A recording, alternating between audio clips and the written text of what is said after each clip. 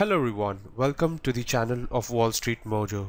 Friends, today we are going to learn a tutorial on current ratio.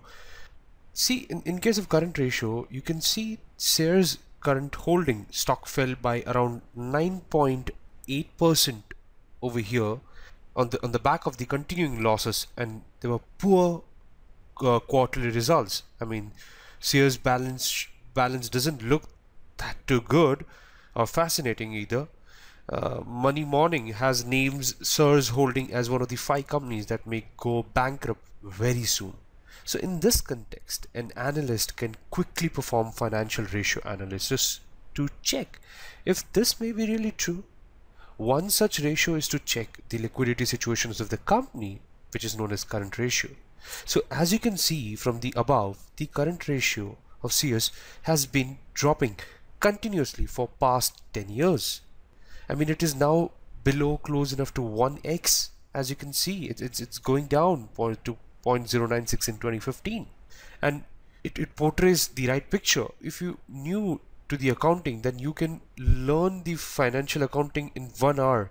I mean in, in, the financial training. But at the end of the day we are evaluating over here in terms of current ratio See the current ratio over here is used to measure the company's short-term liquidity position and provides a quantitative relationship between current asset and current liability. It answers the question that how many dollars in current assets are there to cover each dollar in current liabilities. So does the company has sufficient resources to pay off its short-term obligation and stay afloat for at least one year? All this can be learned with the help of a formula. So let's start evaluating a formula for current ratio. Now, current ratio is nothing but current assets divided by the current liabilities. I'm just writing a formula of current ratio is equal to alt HOI current asset and current asset means all those assets which has and advances or or liabilities which are going to be due in, in one year. So all those are current assets and current liabilities respectively. So now if let's say for a company the current assets just a short example if if for a company the current assets of a company is let's say uh, 200 million okay and the current liability is let's say 100 million. Then uh, the current ratio is the current asset divided by the current liability that is 2 now let's evaluate which are all those in included in current assets and which are in current liabilities. So let's make a quick bifurcation of current assets and current liabilities liabilities and uh, see the first in current assets it's in it includes cash then cash and cash equivalents okay? Then you have investments then you have the debtors debtors can be all those types like receivables trade receivables or notes receivable which are maturing in one year and some other type of receivables. Then you have inventory. In inventory all those things will come like raw material w work in progress finished goods then it includes office office supply office supplies and uh, any prepaid expenses. Prepaid expenses will be part of this. And the last will be advances or advance payments that have been done. So that will be also your current assets. Now in case of current liabilities instead of over here debtors things will change to creditors which are also known as the accounts payables. Then you have you can write deferred I mean deferred revenues can be part of this. Then you have any accrued compensation any sort of accrued compens compensation. Then uh, any other accrued expenses accrued expenses will be part of this and uh, any short-term notes? Short-term notes? So all this will be part of the current liabilities. I hope you have got in detail analysis of what all things are included in current assets and current liabilities. Now let's make the interpretation of this current ratio. See, if the current asset is greater than current liability, then the ratio is greater than 1. So it is considered a desirable situation. So we say that situation number 1 says where the current asset is greater than current liabilities that is greater than 1 is good is a good thing if current asset is equal to situation number 2 if current asset is equal to current liability that is current asset are just enough to pay down the short-term obligation. So this is equal to 1 and I mean you are indifferent over here. If current assets then this third situation over here we can put down as the third situation as if the current assets is less than current liabilities where then it is less than 1 which is bad or not desirable so the ratio in this particular is less than 1 and it's a problem situation at hands. And as the company does not have enough to pay for its short-term obligation. Let's evaluate in terms of current assets example. Let's work through an example to understand in detail which of the in, in this particular companies will, will form an example over here as I'll just write current assets current liabilities and current ratio that is CR for company A company B and company C.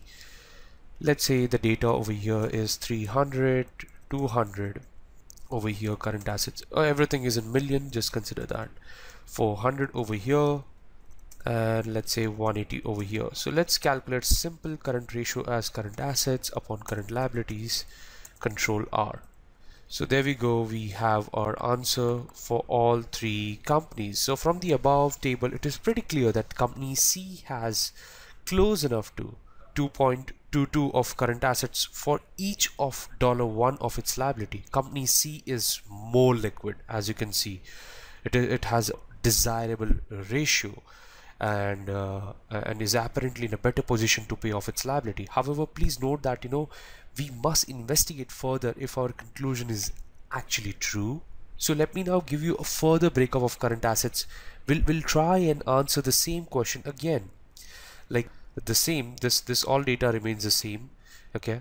And let's say you have cash of 160 in case of let's say cash over here is in, in case of B is 160 over here we'll just keep it as nil zero and let's say datas or the receivables over here is 300 and 0 and 0 over here. And let's say inventory over here. And in case of inventory it is 0 over here 0 over here and in company C as 400 so please accept the devil is in the details. Company C has all its current assets as in inventory. As you can see 400 is complete in, in inventory. For paying off the short-term debt company C will have to move to inventory into sales and receive cash from customers. Now inventory takes time to be converted into cash. The typical flow will be raw material inventory then it will be converted to work in progress that is WIP which will be uh, that that's known as WIP inventory which will be then converted into the finished goods. And then the sales process takes place and the last thing that is the cash is received. So this cycle may take a very long time. So inventory is less than receivable or cash. So the current ratio of 2.22x does not over here looks too, too too great at this very moment of time. Okay? Because they have more exposure to inventory. Now talking about company A however has all the current assets as receivables for paying off the short-term debts. So company A have to recover it has to basically recover this amount from its customers so there is a certain risk associated with non-payment of the receivables that's known as bad debts however if you look at company B in, in case of company B the cash is right available 160 million. So if you look at company B now it has cash in its current assets even though its ratio is 1.45x strictly from the short-term debt repayment perspective it is the best place as they can be immediately pay off their short-term debts. So as you can see in the Colgate Palmolive company the total current assets are given over here from December 10 to 13 and in case of current liabilities our details are here. You can see the current ratio is 1 1.18 1.22 and 1.0x so there was a stiff rise and there was a fall. The current ratio is calculated as current asset of the Colgate divided by the current liabilities of Colgate. This is a pure example of a hardbound company. For example in 2011 current asset was 4402 that's 4002 million and current liability was 3716 million so the current ratio is 4402 divided by 3716 which gives us 1.18x. Likewise we calculate this ratio for all the other years. So following observation can be made with, with regards to Colgate's ratio over here. See the current ratio has increased from 1x in 2010 to 1.22x in 2012. See primary reason for the increase is the built up cash and cash equivalents and other assets from 10, 2010 to 2012. In addition we saw that the current liabilities were more or less stagnant around 3700 million for this three years. We also note that its ratio dipped to 1.08x in 2013. The primary reason for this dip is the increase in the current portion of the long-term debt to 895 dollar 895 million dollar thereby increasing the current liability so the talking about seasonality in the current ratio current ratio should not be analyzed in isolation for a specific period we should closely observe this ratio over a period of time, whether the current ratio is showing a steady increase or a decrease. In many cases, however, you will note that there is no such pattern. Instead, there is a clear pattern of seasonal se seasonality in current ratio. Take very example of Thomas Cook. Like in, in this particular uh, case, I mean the current assets and current liabilities of Thomas Cook, as you can uh, will will see in in uh, in, in the example, they tend to move up in the month from September quarter so as you can see over here in case of Thomas Cook, the total current assets and liabilities are given. The ratio was 0.55x and there was a continuous decline and post 2013 there was a continuous stiff rise. So this is basically because of the seasonality effect. I mean seasonality in current ratio I mean is is is basically an, is normally seen in the seasons of commodity related business and uh, where raw materials like sugar, wheat, etc. are required. So such purchases are done annually depending on the availability and are consumed throughout the year. Such purchases require very higher investments. Okay and thereby increasing the current asset side. So current ratio examples in if you want to see in case of the automobile sector so as to give you the idea of the sector current ratio I have picked up a close enough to US automobile sectors and let's look at the list of such US automobile companies. As you can see, the automobile company like Ferrari, Supreme Industry, Ford Motors, the current ratio from the the top numbers till the bottom numbers is given over here. Toyota Industry seems to have a 1.5 for it, which is the lowest current ratio. Ferrari is having the high current ratio, means they have a high liquidity positions. Same with Ford and SORL, Fuji Heavy and SIMDABI and so on and so forth. So this is the case of higher ratios and please note that the higher ratio may not necessarily mean that they are in a better position. It could also be of a slow moving stocks or, or lack of investment opportunities. Also the receivable collection could also be very slow. And uh, below is the list of the US listed automobile companies with a very very very low ratio is a list you can see uh, in serial numbers company name I mean Saleen Automotive is 0.037 and that is the bad thing. BMW is close enough to 0.935 that's below 1 it's not good.